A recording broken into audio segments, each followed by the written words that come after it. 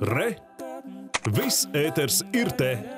Sportiskā un raitā solī mans kolēģis Gusts ir devies uz Latvijas televīzijas vestibilu, lai sagaidītu divus viesus, muzikālus viesus, kas saistīti ar festivālu Rīgas ritmi. Par spīti Covidam tas notiek arī šajos sarežģītajos kultūras apstākļos, un Gusts par to jau ir gatavs pastāstīt sīkāk. Jā, paldies, Laura. Tik tiešām Rīgas ritmi notur kanti, notur tradīcijas, spītējot arī šiem apstākļiem, kas ir diezgan neziņas apvīti un ar dažādiem ierobežojumiem saistīti. Taču tiešām jau rīt festivālā noslēdzošajā koncertā VF kultūras pilī notiks koncerts, kurā uzstāsies izcilais kubiešu pianists Roberto Fonseca. Un šorīt viņš ir ieradies Latvijas televīzijā šeit rīta stundā kopā ar Rīgas ritmu pārstāvi komunikātoru, teiksim tā, Kaspar Zaviļējski. Labrīt, buenos dias! Labrīt. Good morning. sāksim, sāksim Kaspar, ar jautājumu tev kontekstam, tā teikt, par Rīgas ritmiem kopumā. Festivāls, kas ir jau vairāk kā 20 gadu senu vēsturi.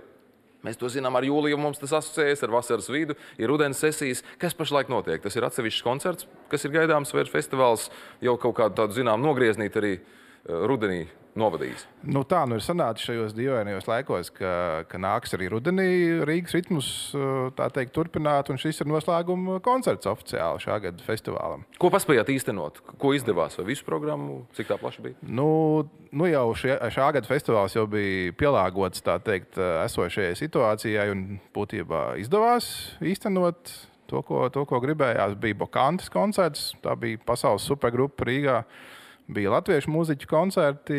Nu, festivāls turpina dzīvot, un būs arī nākamgad, lai kādi tie laiki arī būtu. Īsnībā par 21. Um, gadu runājot, ne tikai 2021. kas ir šobrīd, bet arī par festivālu 21. Vai vēl ir palikuši daudz mākslinieku, kurus nav vēl izdevies ievilināt Rīgas ritmu tīklos un atsaukt uz Latviju šajā laikā? Tik daudz zvaigznes bijušas jau.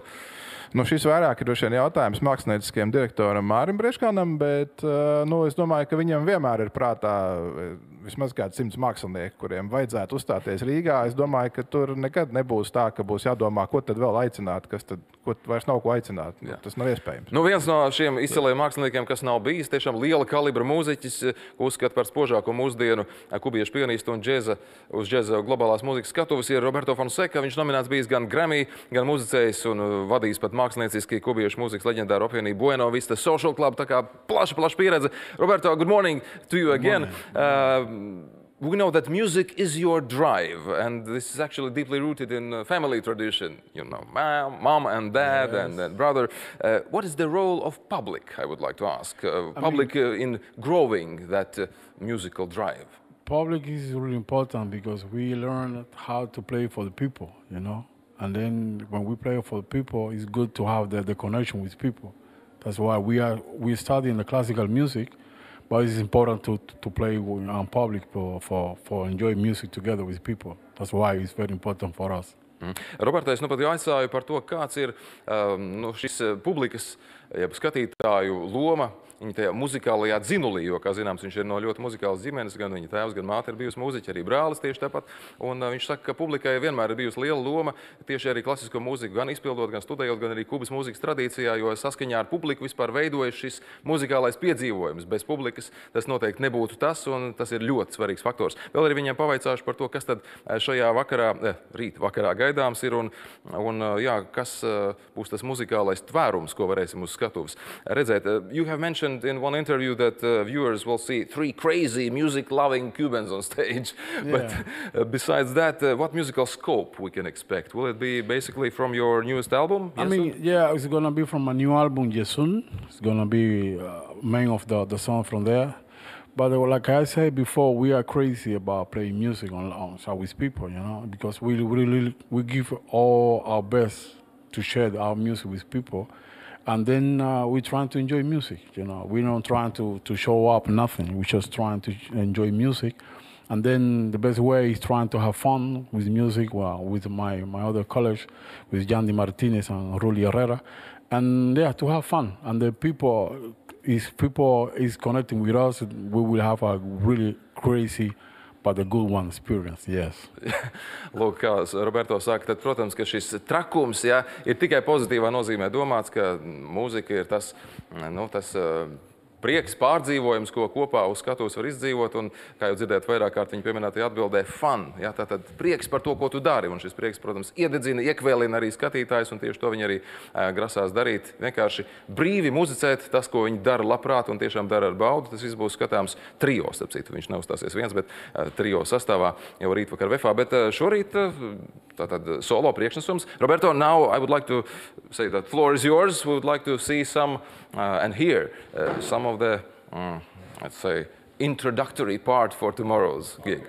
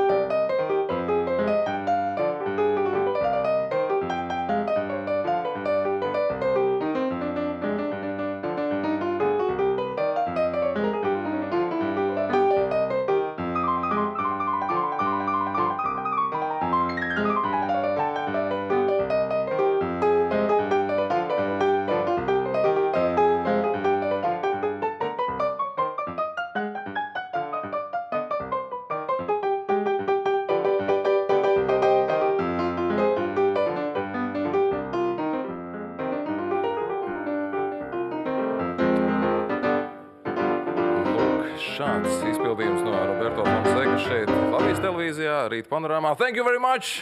Thank you, thank you. It was really fantastic. This is what I understand with having fun, with instrument on stage and as well with the public. I wish you really uh, great concert tomorrow. Roberto Fonseca un Kaspars Zaviļieskis no Rīgas ritmiem. Arī zan jāatgādina, ka Roberto būs meistarklase. Arī tas vēl viens fakts. Tas būs uh, tajās uh, dienas rītā, proti rītdienas rīta pusē, bet nu, par to noteikti plašāk informācija Rīgas ritmos varat arī